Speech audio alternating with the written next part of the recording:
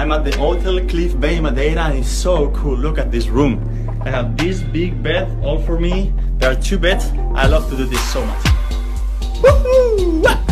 And they leave here some welcome food, which is looking very delicatessen.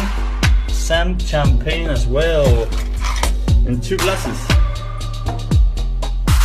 And the best part, the best part is this one. Look at this view. Oh, it's about sunset. Mira, mira, mira, mira, mira. This is Funchal.